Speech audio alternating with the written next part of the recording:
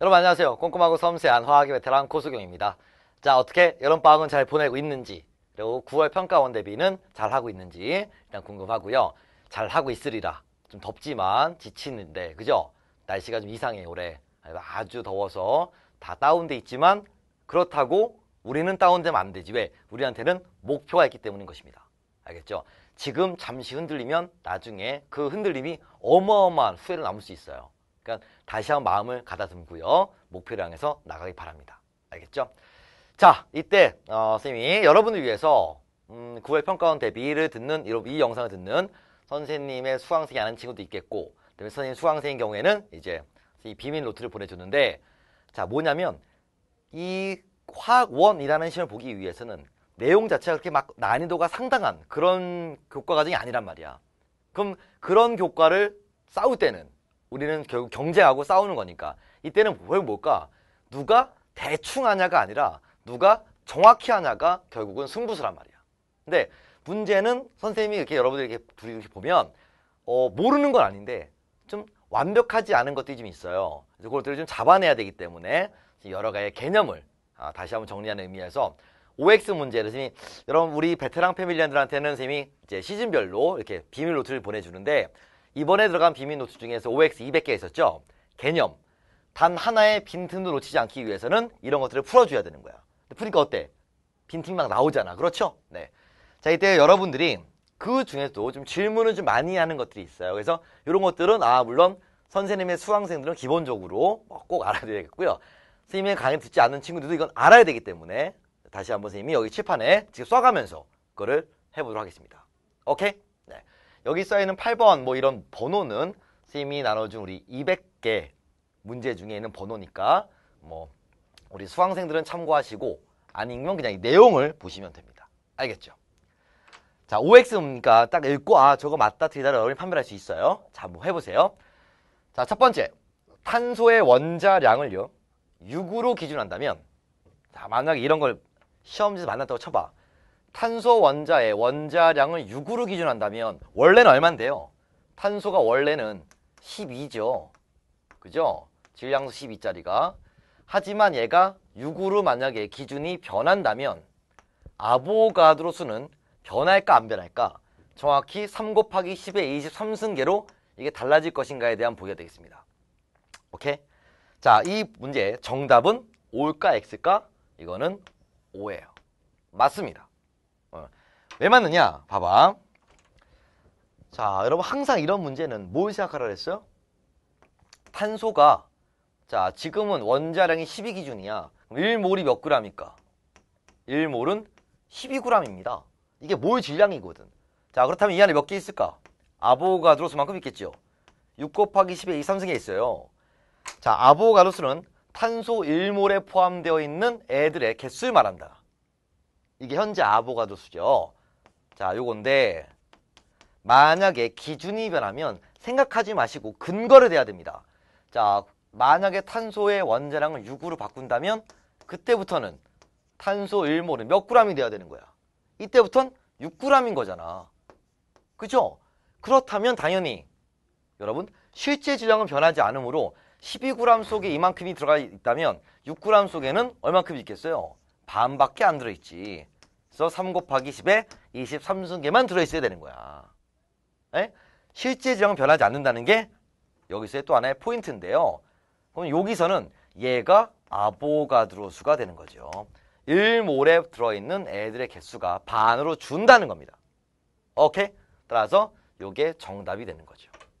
그러니까 이렇게 돼야 잘 봐. 마무리해볼까? 자, 그럼 탄소 원자 한 개의 실제 질량은 얼마일까요? 이건 변해 변하지 않아. 이거는 기준이 아무리 바뀌어도 변하는 게 아니거든. 이거를 한번 확인해 보자. 과연 변하는가 안 변하는가. 자, 12g이 6 곱하기 10의 3승계야. 반대로 6 곱하기 10의 3승계. 이만큼이 12g이야. 한 개는 몇 g일까? 그러면 여기서 쓰면 12g을 6 곱하기 10의 23으로 나눠야 되는 거잖아. 이게 한 개의 질량이 되는 거예요. 그런데 자 여기서 계산한다면 역시 6g은 요만큼의 질량이니까 역시 6을 얼마 나눠줘야 돼? 3 곱하기 10의 23으로 나눠줘야만 한 개의 실제 질량이 뜨게 되거든. 자, 잘 봐봐요. 같아 안 같아? 이 값과 이 값은 같죠? 예. 그래서 실제, 실제 질량은 변하는 게 아니구나. 이렇게 풀은 거죠. 꼭 기억을 하고 있으세요. 네. 자, 그럼 우리의 목표는 뭐야? 만점이야, 만점. 그죠?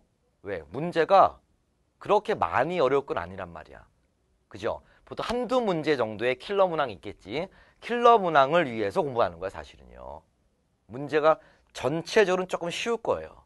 근데 두 문제쯤은 어려울 거예요. 오케이? 근데 문제는 거기서 어려운 거 두 개 틀리고 쉬운 거 맨날 열개 다 맞으면 절대 등급은 좋지 않습니다. 그쵸? 예. 우리는 일단 만점을 목표로 한다. 그러려면 뭐가 있어야 돼? 빈틈이 있으면 안 된다는 거죠. 그러면 쉬운 문제만 내내 똑같은 걸 풀어요. 그건 안 되는 거야. 예. 이만큼의 점수를 위한다면 이만큼의 공부를 해줘야 됩니다. 오케이? 자, 이게 8번. 친구들이 많이 묻는 질문이었고요. 다음 17번 볼까요? 자, 이거 뭐냐면 C2H5OH라는 야, 요런 애가 있어요. 자, 얘가 이름이 에탄올인데요. 야, 요 놈이 에탄올의 분자식이냐라는 질문이 되겠습니다. 아, 자, 이런 하나하나 우리가 화학원에 뭐가 있어요? 화학식, 분자식, 실험식, 희성식, 구조식이 있는데요. 자, 요건 C2H5OH 그럴싸해 보이지만 분자식이란 분자를 구성하는 원자들의 종류랑 수를 모아놓는 겁니다. 종류랑 수를 모아놓는 거기 때문에 얘의 분자식은 C2H6O가 되는 것입니다. 오케이? 따라서 이 보기는 틀리는 보기가 되는 거죠. 오케이? 이게 분자식이야. 실험식은요, 선생님? 분자식을 약분하면 실험식인데 더 이상 약분이 안 되므로 이게 실험식도 되겠죠. 됐죠? 음, 요거 간단한 문항인데요. 이런 것도 틀리거나 실수라고 하거나 깜빡했어요. 그럼 안 돼. 집중력. 네. 자, 나온다라고 생각하고 모든 문제를 풀라 그랬죠? 지금은 문제를 빨리 푸는 시기가 아니다. 어떻게 하는 시기야? 정확히 푸는 시기다. 네. 자, 55번 보겠습니다. 자, p 오비탈의 마디 평면에서는 전자가 발견되지 않는다. 자, 오늘 수업 시간에 많이 한 건데 사실은 그지? 우리 일단 전자가 발견되지 않는 지점이 있냐 없냐 가끔 시험에 나오잖아요. 근데 이게 우리가 알고 아는 바에 한다면 1s 오비탈은 1s는 마디가 있어 없어? 1s는 마디가 없어요. 그렇죠. 다음 2s는 마디가 있어요. 여기를 마디라고 하지요. 여기는 전자가 발견되지 않는다는 것입니다. 그죠? 음. 자, 이때 그럼 p 오비탈은 어떠냐?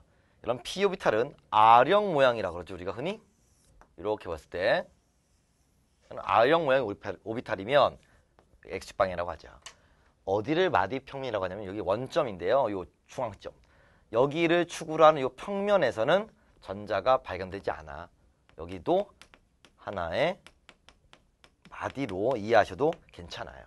음, 그즉 p 오비탈에도 전자가 발견되지 않는 지점이 있다는 것입니다. 네, 그래서 요 보기는 맞아 맞아. 요거는 맞는 보기입니다. 오케이? 그리고 여기에 P의 X 오비탈에 전자가 두 개 들어갈 수 있는데요. 하나 여기 들어가고 하나 여기 들어가고 그런 거 아니에요. 알겠죠? 예. 전자가 어디 있는지는 모르는 거. 단지 이 안에서 발견되는 확률이 90% 이상이다. 이 뜻입니다. 네. 다음 60번. 이거 뭐냐면 보세요. 파울리의 배타 원리에 위배되는 전자 배치는 음. 우리가 전자 배치가 시험에 나오는데 자 전자 배치에는 세 가지 룰이 있죠. 쌓음의 원리, 훈트의 규칙, 파울리 배타가 있어요. 파울리 베타 원리가 뭔데? 한 오비탈에는 스핀 방향이 서로 반대 방향인 전자 두 개가 들어갈 수 있죠. 스핀이 반대 방향인 전자 두 개씩 들어간다. 두 개까지 들어간다. 이게 파울이야. 말을 바꾸잖아요. 스핀 방향이 같은 전자는 같은 오비탈에 있을 수 없어요. 그걸 말하는 겁니다. 오케이? 이건데 예를 들면 이런 거죠. 뭐 오비탈이 이렇게 있을 때 방이 있어. 자, 오비탈에 여기에 이렇게 세 마리가 들어가면 안 되죠, 당연히. 이게 파울리 위배된 거야. 또는 두 마리가 들어간다 할지라도 같은 방향이면 위배된 거야. 네, 요때 질문이 뭐냐? 파울리에 위배된 건 알고 있는데, 예, 여기 이 그림 보시고 아 파울리의 배타 원리에 위배된 전자 배치는 불안정한 전자 배치라고 할 수 있느냐? 그럼 이게 이거에 위배되면 들뜬 상태가 되느냐 라는 건데요. 이 질문의 정답은 아닙니다. 그럼 뭐야? 안 정한 거냐? 그것도 아닙니다. 뭐냐? 파울리의 베타 원리에 위배된 전자는 존재할 수 없어요. 알겠니? 그러니까 이런 불안정한 전자 배치고 뭐 들뜬 그런 게 아니라 이렇게 생긴 전자는 존재할 수 없는 거야. 이건 잘못된 전자 배치인 거야. 존재할 수 없는 애한테 들떴다는 얘기는 안, 하면 안 되는 거죠. 들떠 있다는 것은 존 분명히 존재하는데 걔가 에너지 준위가 큰 불안정한 상태를 말하는 거잖아요. 알겠니? 자, 한 방엔 스핀 방향이 반대인 전자 두 개가 들어갈 수 있다. 말을 돌려서 스핀 방향이 같은 전자 두 개는 한 오비탈에 들어갈 수 없다. 이거기 때문에 자 파울리의 베타에 위배된 전자는 존재할 수 없는 것입니다. 이렇게 기억해야죠. 알겠니? 자 이런 것들을 자 여러분이 놓칠 수 있는 하나하나의 개념들이에요. 자 조금만 더 이어서 보겠습니다. 자 이어서 80번인데요. 자 어, 번호는 뭐 크게 신경 쓰지 마시고요. 자 내용을 보세요. 자 퀴즈 보듯이 근데 이게 이런 게 다 실력이 되는 거야. 같은 족에서 주기율입니다. 같은 족에서 원자 번호가 증가할 때, 즉 무슨 말이니? 주기율표가 이렇게 있잖아요. 자, 같은 족이라는 건 세로 줄이겠죠? 자, 이때 밑으로 내려갈수록 이 얘기예요. 자, 유효액전하는 자, 보통 유효액전하라고 하는 것은 원자과 전자의 유효죠.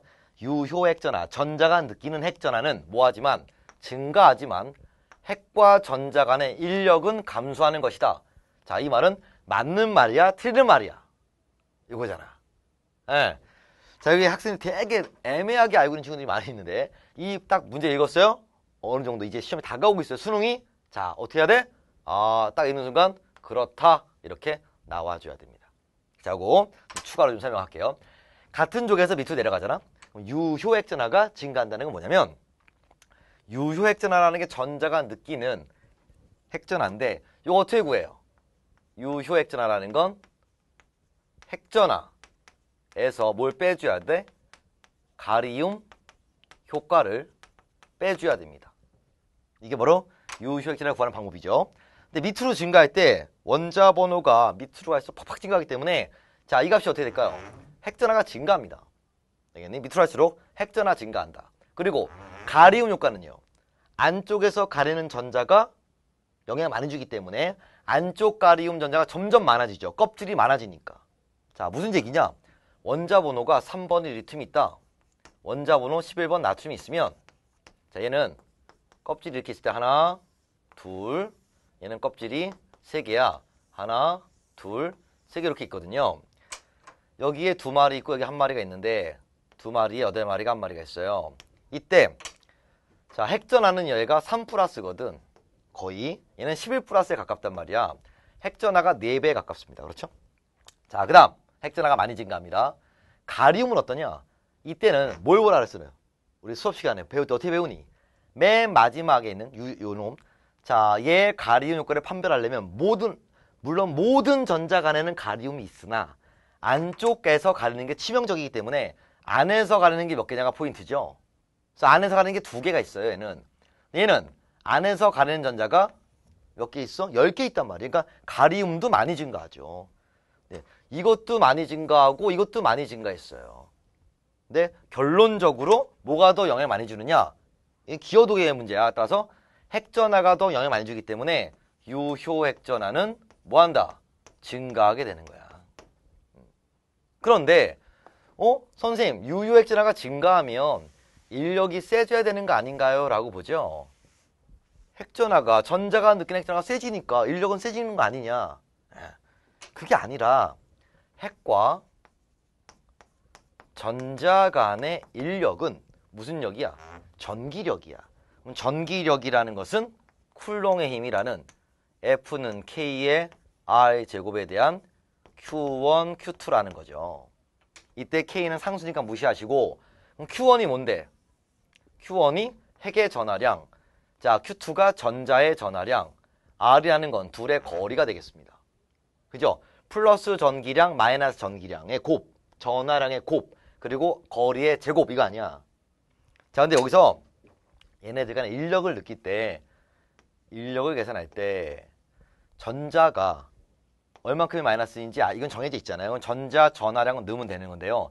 여기다가 핵전화를 넣는 게 아니라 여기다가 유효 핵전화를 넣는 거예요. 그러니까 요게 유효 핵전화라고 생각하시면 돼요. 알겠어요? 그러니까 자 원자 번호가 증가하면 같은 쪽에서 밑으로 내려가면 이 값이 뭐 한다고요? 증가한단 말이야. 근데 문제는 이것만 증가하는 게 아니라 거리도 증가하는데 멀어지니까 최악전자가 멀어지는데 거리에는 제곱에 의존하거든. 따라서 여기서는 거리의 영향을 많이 받기 때문에 제곱이라서 인력은 오히려 어떻게 돼? 약해지는 거야. 유효 핵전화와 인력은 다른 얘기죠. 이게 유효 핵전화고요. 요게 인력인 거야. 힘. 그래서 거리가 멀어지기 때문에 유효 핵전화는 증가하겠지만 핵과 전자들 간의 인력은 오히려 감소한다. 그래서 전자를 꺼내기는 쉬워지는 것이다. 이런 논리죠. 알겠니? 이렇게 정리하시면 되겠습니다. 이 문제 정답은 맞는 복입니다. 네. 자, 다음 86번. 이거 뭐냐? 자, 전자 껍질 수가 많은 원자. 껍질이 많으면 걔가 반지름이 껍질 수가 작은 애보다 크냐? 즉, 껍질이 많으면 껍질 수가 3개야. 얘는 껍질 수가 2개야. 그럼 껍질 수가 많은 애가 반지름이 크냐? 오케이? 이 문제의 보기. 맞을까 틀릴까? 어때? 자, 이거 아니죠. 네. 껍질이 여러분 반지름에 영향을 주는 거지. 껍질이 많다고 무조건 껍질이 많다고 무조건 애가 큰 건 아니다 그랬죠? 보시면 봐봐요. 여러분 밑으로 갈수록 반지름이 증가합니다. 그잖아. 이거는 보통 1학기에 처음에 개념을 두리둥실 잡을 때 초보자들이 하는데 밑으로 할 때 커져요. 반지름이. 그죠? 왜 커지니? 껍질수라고 하죠. 네. 이거를 틀었다고는 아무도 안 해. 근데 이제 수능을 보는 입장이라면 공부가 정확히 한다 그랬습니다. 밑으로 갈수록 커지는 이유는 껍질 수에 의한 영향이 에? 핵전화에 의한 영향보다 크기 때문인 거야. 여러 핵이 세지면 세질수록 핵, 핵이 강해질수록 핵이 갖는 플러스가 세질수록 반지름은 작아지게 돼 있어요. 인력이 세니까 끌어온단 말이야. 그죠? 그런데 껍질이 많아지면 반지름은 커지게 돼 있어요. 따라서 두 가지의 영향이 동시에 작용하죠. 밑으로 내려가면 핵도 강해지고 껍질도 많아져. 근데 결론적은 우리가 이건 결과를 알고 있는 거잖아. 할수록 커진다. 왜? 그 이유는 껍질 수에 의한 영향을 많이 받기 때문인 것이다.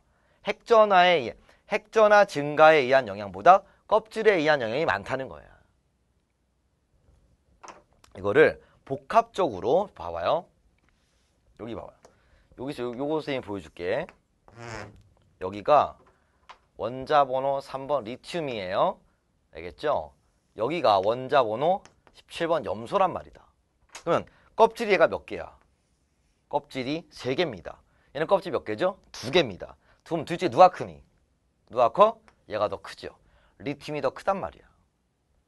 어떻게 껍질이 두 개인 애가 더 클 수 있나요? 그죠? 예. 얘는 껍질 세 개인데 문제는 핵도 굉장히 강하기 때문인 거야. 그래서 핵전화가 많이 차이가 나버리면 껍질의 의미는 없어져요. 봐봐. 3번 리튬이 있고 17번 염소가 있는데 얘를 핵이 있으면 이렇게 그리잖아요. 아 껍질 두 개구나. 여기다가 염소의 모형을 그릴 때 얘가 얘를 요만하게 그렸다 그래서 얘 똑같은 사이즈가 이렇게 있는 게 아니란 말이야. 왜? 핵이 세기 때문에 끌고 온다고. 그래서 따라서 염소 원자의 첫 번째 껍질의 궤도 반지름은 얘보다 작죠. 이렇게 애들이 끌려 들어와요 안쪽으로. 그래서 결과적으로는 요것 좀더 크게 그려줘야 되겠네요. 자, 껍질은 두 개밖에 없지만 핵이 워낙 약하기 때문에 애들이 인력이 약해. 인력이 약해서 엉성한 거지. 여기에 전자가 두 마리 있고 한 마리 있는 거야. 이 인력이 약하니까 애들이 멀리 있어요. 전자 구름 자체가 멀리 있는 거지. 얘는 자 똑같은 여기에 전자 두 개 있잖아. 하지만 핵이 강하니까 애들이 바짝 끌려와가지고 요 궤도 반점이 작아 짧아진 거야. 그리고 나머지 여기에 8개 있고 나머지 여기에 7개 있는 거겠지. 오케이? 공부를 자기 나름대로 정리를 하는 친구가 있다 그랬어요. 항상. 배운 대로 안 하고 정리하는 거야. 어떻게? 아, 반지름을 결정할 때에는 먼저 첫 번째 껍질을 먼저 보고 껍질 수가 똑같으면 핵을 보고 오케이? 핵도 똑같으면 전자의 개수에 의한 반발을 보아라. 이런 말도 안 되는 우선순위를 뭐 매기면 안 되는 거야, 이거는. 얘네 세 명이 반지름에 전부 다 영향을 주는 거예요. 어? 껍질이 많다고 무조건 일단 크고 그런 전제는 안 되는 거란 얘기죠. 이게 되게 위험한 학습이에요. 오케이? 나중에 그거 멸망합니다. 그러다가 잘못하면 네. 얘네 세 명이 전부 다 뭐 한다고요? 반지름에 기여한다. 이렇게 보셔야죠. 그래서 결과적으로 우리가 주기율표에서 밑으로 내려갈 때 커지는 이유는 결과적으로 껍질 수에 의한 영향이라는 거지. 껍질이 많으면 큰 게 아니고요. 그러니까 같은 항상 그 전제 붙이잖아. 같은 족에서는 밑으로 갈수록 커진다. 알겠니? 예. 그래서 이 보기는 안 된다는 거죠. 오케이? 이런 것도 자 이제 바로 잡아줘야 됩니다. 공부가 이제 어떻게 돼야 돼? 점점점 수능에 가까울수록 정확해야 된단 말이야. 다음 105번. 자, HCl과 간결한 문항이지만 생각보다 이런 것도 조심해야죠. HCl과 KCl 같은 애들은 모두 이온결합 물질인가? 라는 겁니다. 맞을까 틀릴까? 음, 이거 틀리면 정말 공부 안 한 거야. 알겠지? 틀리죠? 예. 어, 왜 틀려요? 아, 틀리죠. 이게 무슨 결합 물질이에요? 이건 공유 결합 물질이죠. 오케이? 예. 어, 선생님, 이거 아니에요? H 플러스의 Cl 마이너스? 예. 이거는, 이게 뭐냐면, 봐봐. H 플러스와 Cl 마이너스가 만나서 HCl이 되는 요 따위 결합은 없습니다. 알겠니? 예. 이거, 이, 이렇게 결합하면 이거 이온 결합이게? 예, 이건 아니고요. 이거는 수소와 염소가 서로 전자를 내서 공유하는 이런 공유 결합 물질이죠. 근데 이게 물 속에 들어가면 얘를 물에 넣잖아? 물 속에서 얘가 끊어져요. 음, 여기는 플러스 마이너스 띄기 때문에 막 물 분자가 막 끌어당기면서 얘가 툭 끊어지는데 끊어질 때 수소가 전자가 워낙 이쪽에 가 있으니까 수소가 전자를 못 가지고 나가면서 물 속에서 끊어지면서 이온이 나는 거야. 수소 이온이. 수소 이온으로 결합한 게 아니라 수소랑 염소랑 전자를 하나씩 내고 공유한 거야. 공유결합 물질인데 물 속에서 끊어질 때 이게 나오는 거지. 이온화일 때만 나오는 거예요. 그러니까 따라서 이걸 수소 이온 때문에 오히려 더 헷갈리는 거야. 산염기 때문에. 그래서 조심해야 돼요. 어떻게 보는 거지 원래? 야 이거 비금속이다. 비금속이다. 따라서 공유결합이다. 이렇게 나오는 거지.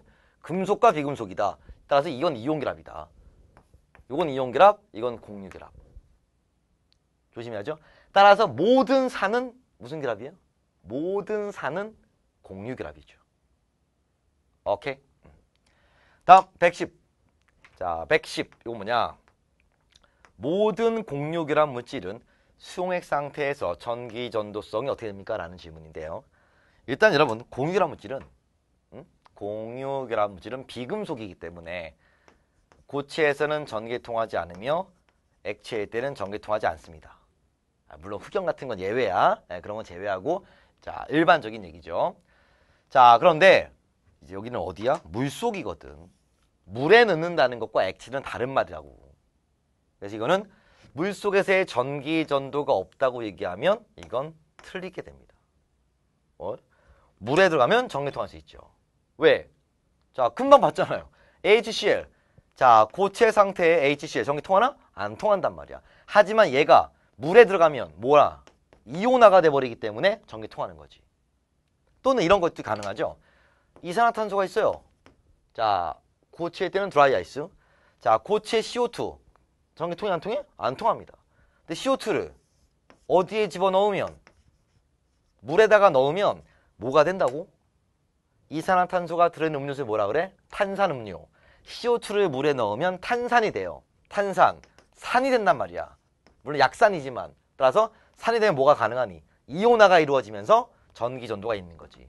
물론 약산이니까 전기도 약하긴 하겠지만 전기를 통할 수 있단 말이야. 알겠어요? 그래서 역시 자, 이 보기는 틀리는 보기가 되는 것이다. 이런 것들도 또 하나의 여러분이 잘 놓칠 수 있는 그런 개념이 되겠습니다. 알겠니? 네. 조금만 더 보겠습니다. 자, 다음 114번인데요. 자, 이거 뭐냐면 자, 어때? 재밌죠? 자, 재미없어? 자, CL2에 다 누나 조심해야 되는 걸 쌤이 예, 얘기해 주는 건데요. 이거 말고도 많이 해주고 싶지만 사실은 어, 그럴 수는 없으니까 한정된 시간이기 때문에 자, 이 정도만 쌤이 보여주는 건데 요거 내용이라도 똑부러지게 딱 정리를 해두기 바랍니다. 자, CL2의 끓는 점이 F2보다 높은 이유는 플로른 보다 높은 이유는 공유 결합력이 강해서냐라는 질문이 되겠습니다. 자, 이 문장이 뭐냐면 물론 이런 게 시험에 나올 때는 자료를 동반합니다. 자, 어떻게 나오느냐? 이런 거죠. 원래 핵간 거리에 뜨는 에너지 그래프에서 자, 요게 여러분 이런 걸다 외우질 않으니까 자, 문제 주죠. 요게 CL2예요. 아, CL2가 이 정도 거리에서 자, 결합을 하게 되거든요. 공유 결합을. 근데 F2는 자, 요렇게 생겼어. 요런 걸 준단 말이죠, 이렇게. F2가 좀 결합이 짧아요. 조그마니까. 근데 결합이 짧으면서도 결합이 되게 약하죠, 사실은요. 이게 F2의 결합점, CL2의 결합점이야. 그러니까 지금 CL2가 F2와 공유 결합력을 비교한다면 공유 결합력이 지금 누가 더 세니? 결합 에너지에 대한 얘기죠. CL2를 끊으려면 이 정도 에너지가 필요하고 F2를 끊으려면 이만큼 필요합니다. CL2가 더 강한 결합을 하고 있어. 그래서 결합 자체는 CL2가 세죠. 그죠? 자, 끓는 점은 어떠냐? 여러분. 자, CL2랑 F2의 끓는 점은 실제로 요 끓는 점도 물론 그래프라던가 데이터를 줄 수 있는데 끓는 점도 F2보다는 CL2가 높아요. 즉, 잘 분석을 해본다면 자, CL2의 끓는 점이 F 높다. 요까지는 맞아 틀려? 요건 맞는 문장인 거야. 그리고 공유 결합이 얘가 더 강하다는 것도 맞는 문장인 거야. 근데 끓는 점과 공유 결 합력을 연결하면 이 문제는 틀리는 문제가 되는 거죠. 예. 뭔 얘기예요? CL2가 결합이 강해요. 그리고 끓는 높아. 하지만 끓는 점이 높은 이유는 결합이 강해서가 아닌 거지. 뭐 때문이라고 해야 되는 거야, 여러분? 공유 결합력이 아니라 분자들의 끓는 점은 공유 결합으로 결정하지 않아. 뭘로 결정한다고? 분자 간 인력으로 결정한단 말이야. 분자 간 인력. 오케이? 분자들의 끓는 점은 여러분 분자라는 말은 아무나한테나 쓰는 게 아니라 그랬죠. 그죠? 자, 비분자성한테는 분자라는 말씀 안 돼. 자, 분자의 끓는 점을 결정하는 건 뭐에 의해서? 분자 간 인력으로 결정되는 것이다. 인력으로 결정한다. 어떻게 결정하는 거야? 분자들 간 인력이 세수록 당연히 이게 높아지게 되는 거야. 음. 이온 결합력은 이온들의 녹는 점을 결정하지만 공유 결합력은 분자들의 끓는 점을 결정할 수 없다는 게 포인트가 되겠습니다. 오케이? 네. 이것도 많이들 아, 헷갈려하는 내용 중에 하나니까 꼭 기억해 두시고요. 다음 171. 자 이런 것도 많이 물어봐요 사실은. 네. 왜냐면 뒤에 산염기가 나오는데 우리 4단원에서 맨날 중화만 나온다는 보장은 없잖아 사실. 그죠? 예. 산과 염기의 일반적인 특성이 되겠는데요. 모든 강염기는 171번 모든 강염기는 물에 잘 녹느냐? 여러분 강염기와 약염기의 기준이 뭐니? 강염기라는 것은 뭘 잘한다는 거야? 이온화를 잘한다는 거예요. 이온화를 잘한다는 거고 자 물에 잘 녹는다는 건 수용성을 말하는 거야. 물에 녹는다는 것과 이온화한다는 말은 완전하게 다른 말이죠. 이거를 헷갈리면 안 되지 당연히. 그렇지 않아? 여러분 설탕이 있어요. 설탕을 우리가 비전해질이라고 하거든요. 수용성이 바로 물에 녹냐 안 녹냐죠. 이온을 한번 볼게요. 자, 설탕입니다. 설탕은 물에 잘 녹냐 안 녹냐? 에, 잘 녹지 당연히 잘 녹죠. 설탕 물 전기 통해 안 통해? 안 통합니다. 이온화를 하지 않기 때문입니다. 분명히 다르잖아요. 그죠? 예. 자, 암모니아는 어때요? 암모니아는 물론 무슨 염기지? 약염기입니다. 자, 약염기. 왜 약염기야? 이온화를 하긴 하는데 조금밖에 못해요. 근데 물에는 굉장히 잘 녹죠. 그죠? 하긴 하는지만 이온화 좀밖에 못하니까 약염 요거 때문에 약염긴 거잖아. 이런 거거든.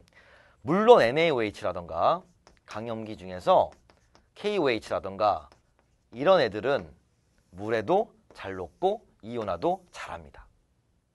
하지만 강염기 중에서 니네가 아는 CaOH2가 있어요. 요 강염기니 아니니 강염기야. 왜 강염기일까? 이온화 잘하거든요. 얘는 물에는 잘 못 녹아요. 용의 수용성이 떨어진다는 거지. 작다는 거야.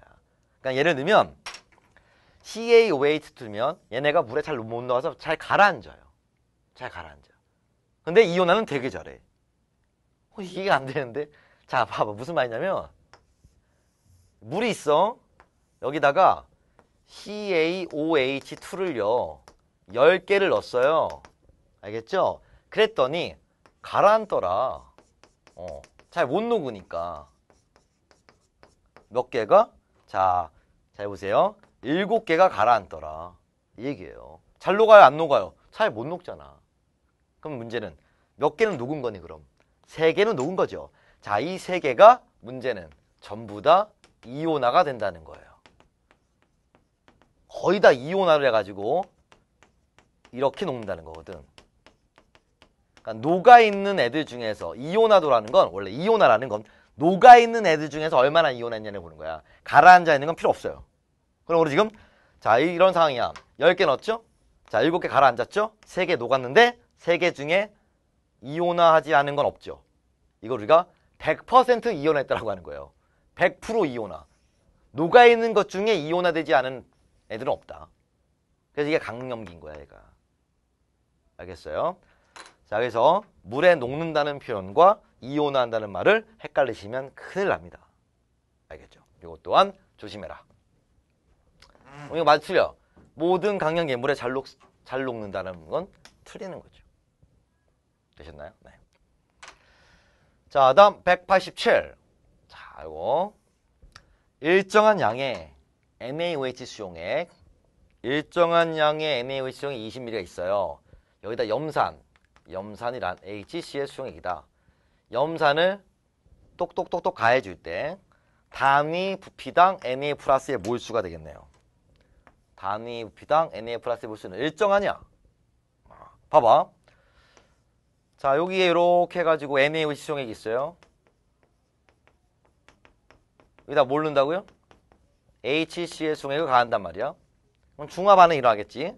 자, 중화는 당연히 여기에 있는 OH-랑 H 플러스랑 하는 거야. 여기 없어진 거 이렇게 없어지겠지, 들어가면. 그러면 Na 플러스는 반응에 참여해, 안 해? 참여 안 하지, 당연히. 따라서 Na 플러스의 몰수는 얘는 구경꾼이기 때문에 Na 플러스의 몰수는 변하지 않아요. 일정해야 되는 거야. 오케이? 그러나 but 그러나 문제 뭐가 쓰여 있어 여러분? 수능에서 굉장히 좋아하는 문장이라 그랬죠? 단위 부피당이라는 말이야. 그래서 항상 단위 부피당 써 있으면 반드시 거기 밑줄이나 동그라미 쳐 있어야 돼요. 선생님 어떻게 하면 실수를 줄이나요? 어떻게 하라고? 문제지를 더럽게 풀란 말이죠. 예. 빨리 푼다고 좋은 게 아니에요. 분명히 쓰여 있는 걸 치고 지나갔어 그냥. 그럼 안 되는 거지. 근데 그런 게 결국은 한 문제면 그 한 문제 2점인데 그 2점 중요 안 중요해? 안 중요해? 중요하잖아 그게. 오케이? 따라서 단위 부피당이라는 걸 놓치지 마라 항상. 어. 왜? 워낙 좋아하는 문장입니다. 그에 따라서 NA의 몰수는 일정한데 양이온 NA 플러스의 몰수는 변하지 않는데요. 얘를 넣으면 처음에 20ml였을 거 아니야. 얘를 2mm, 4mm, 6mm 점점 넣으면 넣을수록 여기에 전체 총 부피가 증가한단 말이야. 그러면 단위 부피당 NA 몰수라는 건 부피분의 몰수인데 결국은 NA 플러스의 몰수는 변하지 않겠지만 부피가 점점 증가하니까 이건 뭐한다? 감소한다가 답이 돼야 됩니다. 따라서 역시 이것도 틀리는 문장이 되는 것이죠. 알겠니? 음. 자, 뭐 많이는 못 해주지만 선생님, 그 그래도 괜찮은 여러분이 놓치기 쉬운 애들을 가지고 선생님이 좀 정리해줬는데요. 아 어때요? 아직도 좀 보완할 게 좀 많죠 사실은요. 어, 딸랑 몇 개 썼는데 그죠? 예. 어제 자만하지면 안 돼요. 끝까지 사실은 문제도 물론 많이 푸는 건 중요하지만 늘 얘기하는 거잖아. 문제를 막 푸는 시기는 언제예요? 아, 여러분 추석 끝나고 실전 딱 들어갔을 때 열심히 푸시면 되고요. 보통은 9월 평가원 전까지는 공부하실 때도 내가 지금 푼 문제가 만약에 한 두 달 뒤에 수능에 나왔을 때는 반드시 풀 수 있게끔 그냥 답이 몇 분에 그게 중요한 게 아니야. 내가 그 문제를 완벽하게 이해하고 있느냐. 그래서 빨리 푸는 게 중요한 게 아니라 많이 푸는 게 중요한 게 아니야, 지금은. 지금 내가 이번 여름방 때에 500개 풀었네? 600개 풀었네? 1000개 풀었네? 필요 없어. 알겠어요? 100개를 풀어도 200개를 풀어도 정확하게 푸는 게 중요한 것입니다. 알겠니? 네. 자, 열심히 대비 잘 하시고요. 자, 힘들고 무더운 날씨지만 그래서 기간적으로도 서서히 100일이 안 되기 때문에 좀 불안불안하지만 마음을 다스리시고요. 목표를 향해서 하루하루 한 시간 한 시간을 헛되이 보내지 말고 끝까지 투혼을 발휘하기 바랍니다. 여러분은 반드시 해낼 수 있습니다. 여러분 화이팅!